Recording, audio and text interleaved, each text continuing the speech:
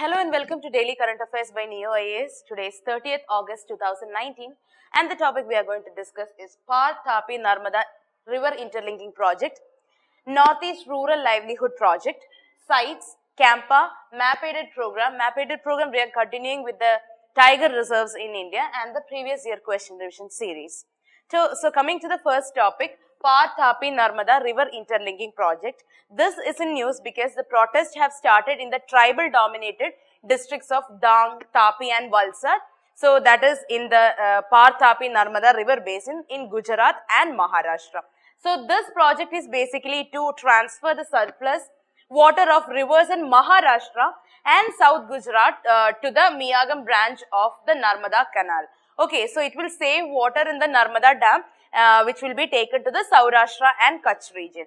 And the project is aimed at diverting the surplus water from the part of west flowing rivers like Par, uh, Nar, Ambica and Auranga basins in Maharashtra. Okay, so there is another river interlinking project connected to this that is Daman Ganga Pinjal river interlinking. So this is expected to fulfill Mumbai's water need till 2060. So the government of Maharashtra's uh, this particular project it proposed to divert the excess water from the reservoirs in the Daman Ganga basin to Mumbai. So this will be done through the Pinjal Dam. It is built on the Pinjal river in uh, uh, Vaitarna basin. Okay. So the next topic is uh, Northeast Rural Livelihood Project. So this is in news because the Union Minister of State for Development of uh, Northeastern region, uh, they chaired a meeting to review whatever projects are happening in the Northeast region. So this particular project, it will empower the rural youth and they'll also improve the livelihood of about uh, 3 lakh rural, uh, rural household in the northeastern region. So this is a World Bank aided project. It's a multi-state livelihood project. It comes under the uh, Ministry of uh, Development of Northeastern region. It has the states like Arunachal Pradesh, Nagaland, Mizoram, Tripura, uh, Sikkim and uh, um, Manipur. Okay, so the project they have implemented in 11 districts from four uh, states that is Mizoram, Nagaland, Tripura and uh, Sikkim. So the project it aims to improve the rural livelihood, especially that of women, unemployed youth and the most disadvantaged uh, people in these four, no, four north, northeastern states. So the project it also will uh, work in partnership with the expert organization who are actually working on the sector right now. So the project, it has also focused on the five uh, development strategy, namely the social empowerment, economic empowerment, partnership development, project management, livelihood and value chain development. So see, these are the five regions development strategies developed by the skill development project. So these include the community project executed by the community development groups who are working in the region and also there are uh, 176 rural infrastructure project under this particular uh, value chain development. Okay. And uh, the community development group, it is formed per village. It comprises of three members of every family.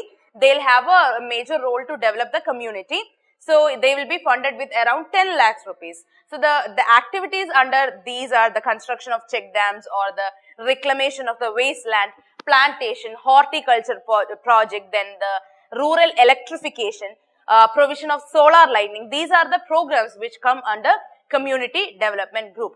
Uh, and across the project districts, livelihood activities by self-help group members are also being uh, involved. So they, that will also increase the family income. Okay.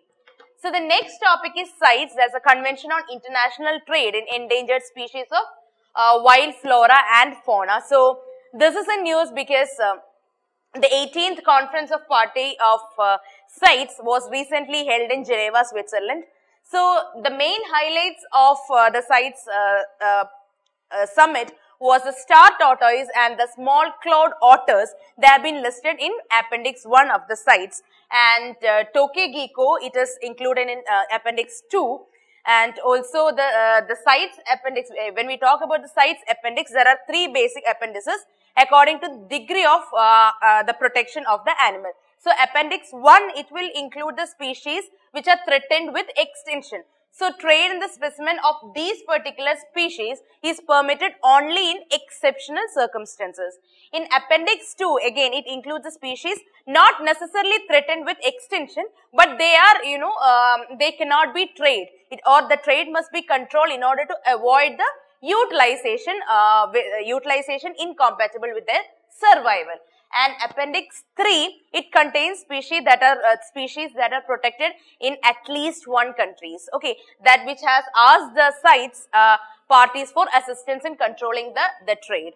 Okay so the indian star tortoise it is the threatened species of tortoise which, which is found in the dry areas and scrubs of india Sri Lanka and Pakistan. So, these species are under Schedule 4 of the Wildlife Protection Act of 1972 it has given the IUCN status of vulnerable and in CITES it is placed in appendix 1.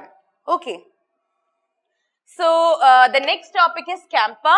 So, this is in news because uh, in order to promote afforestation and achieve the green objectives of the country, so the environment ministry, they are uh, again handing over more money to the CAMPA funds in various states. So, the camp, uh, compensatory afforestation means it is afforestation done as a replacement for diversion of forest land for non-forest uh, use in, uh, in certain areas of the country. So, according to the CAMPA Act of 2016, for effective management of compensatory afforestation activities, the Parliament, they are, uh, they have enacted a fund. That's a compensatory afforestation fund. According to this Act and it, it provides for the establishment of uh, uh, these fund under nation uh, under national and state level. Okay.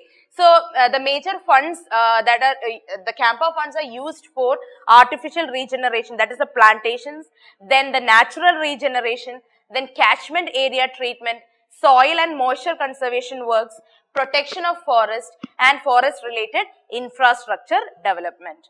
Okay, so it is also given for the wildlife protection. It is also provided for a constitution of an authority at national level and in state level for the administration of uh, these fund. Okay, so uh, this um, CAMPA in the in the recent draft national forest policy of 2018, the government uh, they aim to bring 33% of the geographical area under the forest or tree cover. So, um, uh, if a company is diverting the forest land, then they have to do this compensatory afforestation uh, projects in the country in order to compensate it. So, uh, the for the afforestation purpose, the company should pay for the uh, pay for planting new trees in alternative land that is provided to state. Okay, coming to the map aided program. So, we are dealing with the tiger reserves uh, in the country. So, today we are dealing with Anamalai Tiger Reserve. It is uh, previously called as Indira Gandhi Wildlife Sanctuary and National Park and then it was called as Anamalai Wildlife Sanctuary. It is a protected area or a, it is located in the Pollachi and Valparai taluks of Coimbatore and in Udumalpete taluk in Tirupur. So this is basically in Tamil Nadu and uh, it is uh, designated as Anamalai Tiger Reserve under the Wildlife Protection Act of 1972 in the year 2007. Okay. So I have a picture of Anamalai Tiger Reserve. This is, this is not a very clear picture. You can Google it uh, for a better picture. Now coming to previous year question revision series. Yesterday I gave you the question about agricultural practices. Uh, the question was uh, which is the global uh, climate change resilient agricultural type. So the answer is C 1, 2 and 3. All of the above. So today's question, which of the following is the chief characteristics of mixed farming? Option A, cultivation of both cash crops and food crops. Option B, cultivation of two or more crops in the same field. Uh, option C, rearing of uh, animals and cultivation of crops together. And option D, none of the above. So please give me the answer in the comment section below. Um, and uh, I'll give you the answer tomorrow. So I hope you enjoyed the session.